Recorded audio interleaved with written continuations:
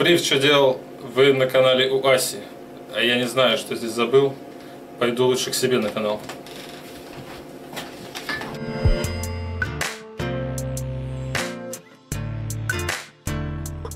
Шалом, с вами Ася. И меня замучили многие люди, даже профессиональные музыканты, которые не очень хорошо разбираются в музыкальной теории и не знают, казалось бы, простых, но, с другой стороны, довольно сложных вещей. Я тут обнаружила, что мало где есть какие-то видео на эту тему, объяснения на эту тему, поэтому этим займусь я. Во-первых, в одном из стримов меня просили сделать видео о ладах, не знаю, зачем это нужно, потому что есть уже довольно много видео о музыкальных ладах.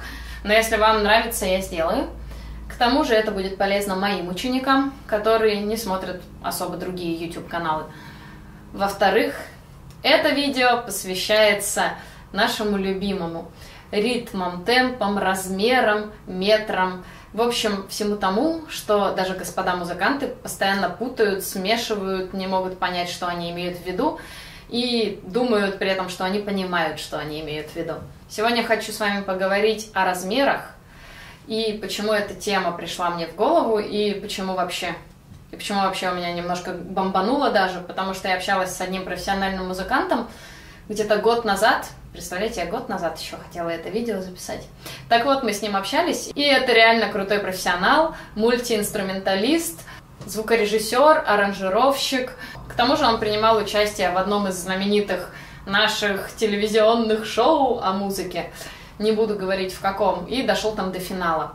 В общем, грамотный человек, но при этом он мне заявил 4 четверти и 8 восьмых. Это одно и то же. На что я ему сказала, да ну, ну прям так одно и то же. Из чего и рождается это видео. Некоторые люди думают, что 4 четверти и 8 восьмых – это одинаковые размеры, только непонятно, да, почему некоторые композиторы пишут 8 восьмых, а некоторые 4 четверти. То же самое многие думают про 3 четверти и 6 восьмых, ну и так далее. Для того, чтобы сейчас было понятно даже тем, кто вообще ничего не понимает в музыке, немножко вкратце объясню, ну, постараюсь, чтобы это было вкратце и действительно немножко. Для того, чтобы мы понимали различный ритм, мы все делим на целые ноты, которые... Целая нота длится как 4 четвертных. Но темп может быть разный. То есть, например, в темпе 61 четвертные ноты будут вот такие.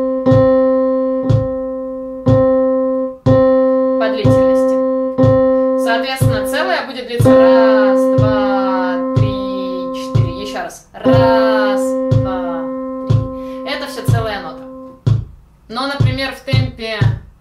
142 вот четвертная нота. Уже в таком темпе. Вот целая. Третья целая, четвертая целая. В зависимости от темпа четвертные ноты могут, например, сменяться очень быстро, а могут и не очень быстро.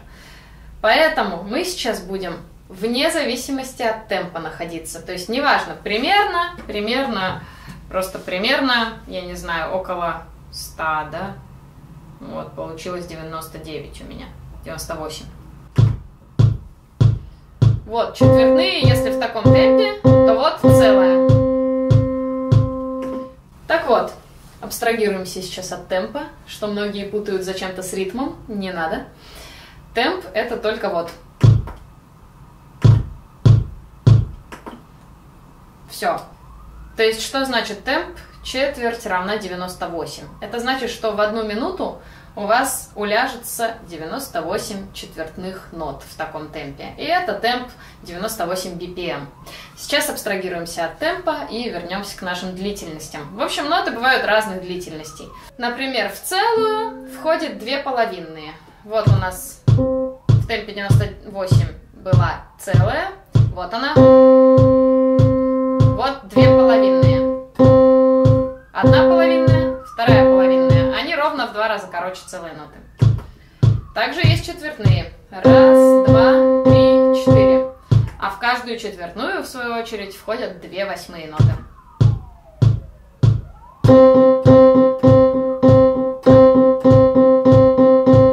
В каждую восьмую входят две шестнадцатые, в каждую шестнадцатую входят две тридцать вторые и так далее. Также, естественно, вы спросите, а что, если у нас какой-то такой ритм, когда нужно, например, спеть так? Внимательно. Это четверти.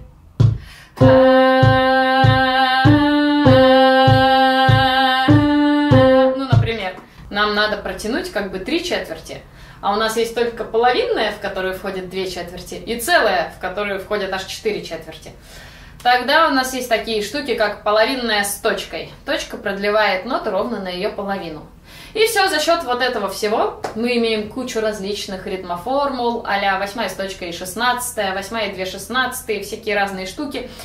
У них даже есть свои названия, а пунктирный ритм, галоп, четверть и восьмая так и называется, четверть и восьмая, хотя это тот же пунктирный ритм, только помедленнее он обычно звучит. Не суть. Сейчас опять немножко не об этом. Дело в том, что вот эти все штуки, как взаимодействуют между собой длительности нот, это и есть ритм. Ритм взаимодействия длительности нот. Ритм можно отхлопать, его не обязательно петь. Например, то есть вот у нас будет восьмая, две шестнадцатых, восьмая, две шестнадцатых, и просто дальше две восьмые, и в конце четверть. Но мы не можем понять, четверть это или нет, потому что хлопок мы не можем продлить. Здесь мы уже можем продлить.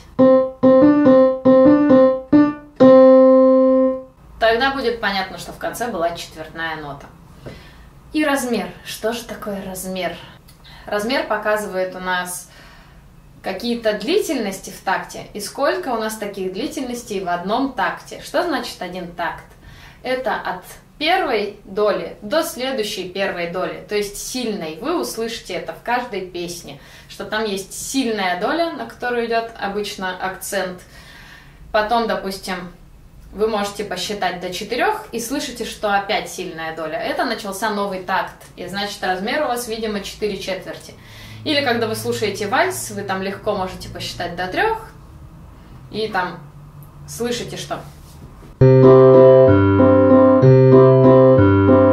что вот у вас раз, два, три, раз, два, три, раз, два, три, раз, два, три. Почему? Потому что у нас бывает двухдольный или трехдольный метр. Метр – это все то же самое, только без привязанности к длительности. То есть это не, например, три четверти, а просто трехдольный метр. Все, только двудольный и трехдольный метр. Двудольный и трехдольный метр. А размер – это когда уже к этому метру добавляется еще и длительности. То есть какие именно ноты в такте. Например, вот в такте три четверти. Раз, два, три, раз, два, три, раз, два, три, раз, два, три. Вот я вам сыграла четыре такта. Теперь давайте перейдем к самому главному. Три четверти и 6 восьмых. Казалось бы, одно и то же. Тут у нас будет считаться раз и два и три и, а 6 восьмых будет раз, два, три, четыре, пять, шесть. Вроде бы, казалось бы, одно и то же. Но это не совсем так. Потому что когда мы делим 6 восьмых пополам, и мы чувствуем, где у нас первый акцент и где у нас следующий акцент, получается, что он делится по 3 восьмые. То есть, например, возьмем последовательность из нот. Э, вот их будет 6 штук. Давайте так. Раз, два, три, раз, два, три. Вот я играю эту последовательность восьмых нот в размере 6 восьмых.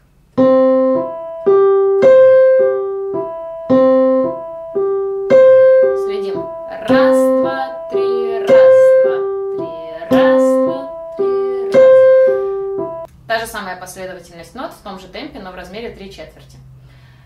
Раз и два и три. И раз как сменился акцент. Вот было 6 восьмых.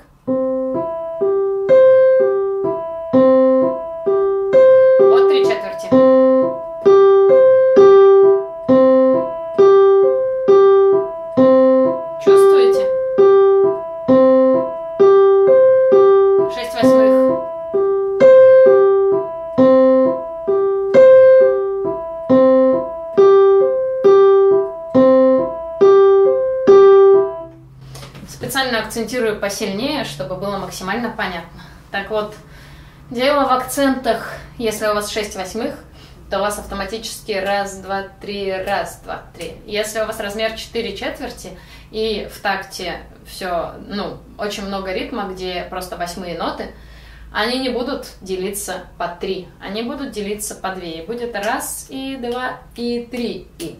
Что же касается размеров 4 четверти и 8 восьмых, это вообще очень интересно. Ну, мне интересно, потому что я люблю музыкальную теорию. Каюсь. Так вот, есть такие штуки, которые называются простые размеры, сложные размеры и сложные смешанные размеры. Простые размеры – это совсем простые, а-ля 2 четверти, 3 четверти, 3 восьмых, 2 восьмых даже не бывает, потому что слишком короткий такт, нелогичный обычно получается. Все, это простые, которые просто вот делятся на 2 и на 3, и все, и больше вообще никак, ничего не двигается никуда. Но если у вас размер 4 четверти, его уже можно поделить на 2 четверти плюс 2 четверти. Значит, это сложный размер. Если у вас размер 6 восьмых тоже это 3 плюс 3. Если у вас размер 12 восьмых, это тоже он собран из 4 раза по 3 восьмых. Если у вас размер 12 четвертей, тоже сложный размер. Но есть еще сложные смешанные размеры. Например, ну вот, например, 5 четвертей. И в чем прикол сложных смешанных размеров? Там могут быть акценты двух, ви... ну, двух-трех видов. Например, 5 четвертей может читаться так. Раз, два, раз, два, три. Раз, два, раз, два, три. То есть сильная доля будет раз, два, и потом вновь сильная раз, два, три. Но может читаться и по-другому. Раз, два, три, раз, два, раз, два, три, раз, два. Но это тоже будет размер 5 четвертей, поэтому он сложный, смешанный. Там смешивается двудольный и трехдольный. И уже сложнее, и уже есть разные варианты, какой он может быть.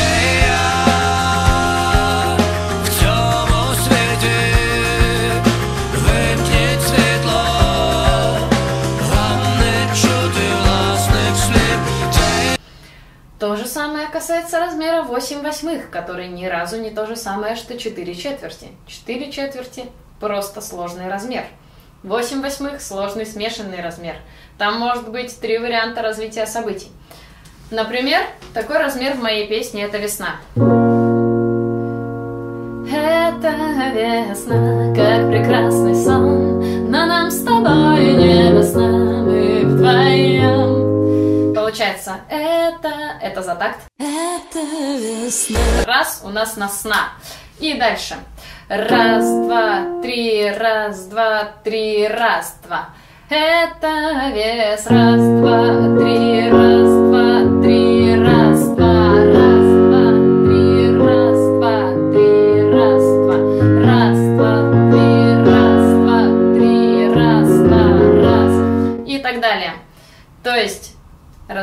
8 восьмых, но это не 4 четверти.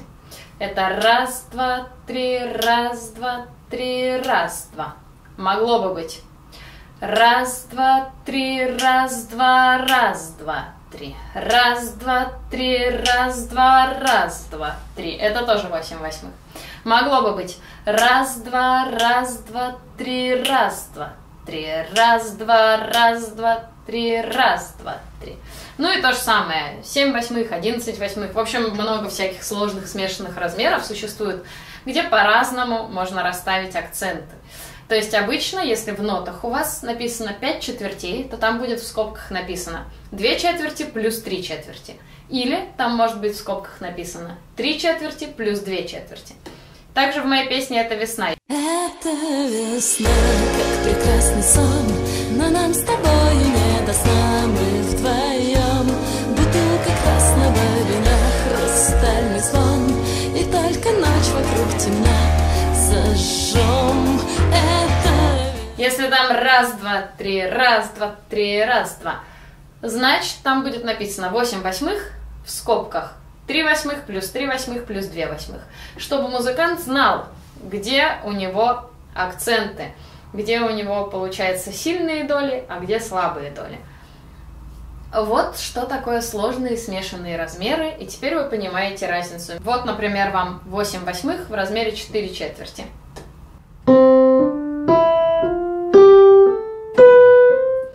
Еще раз, 4 четверти. Раз, два, три, раз, два, три, раз, два.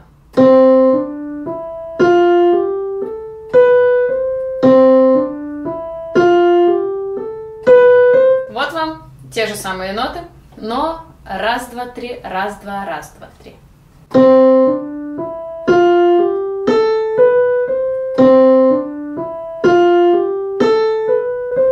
Или раз, два, раз, два, три, раз, два, три.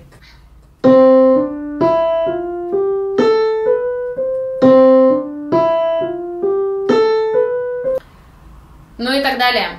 Я думаю, что вроде бы я понятно изъясняюсь, но, по крайней мере, моим друзьям-музыкантам должно быть понятно, а всем остальным подпевчикам пришлось, видимо, потерпеть, но, может быть, вам захочется изучить теперь музыкальную теорию поглубже и понять, что все там не так уж просто. Теперь меня и мою важную цель можно поддержать на Патреоне. Ссылка в описании. На этом все. Надеюсь, что было хоть как-то полезно и хоть как-то понятно.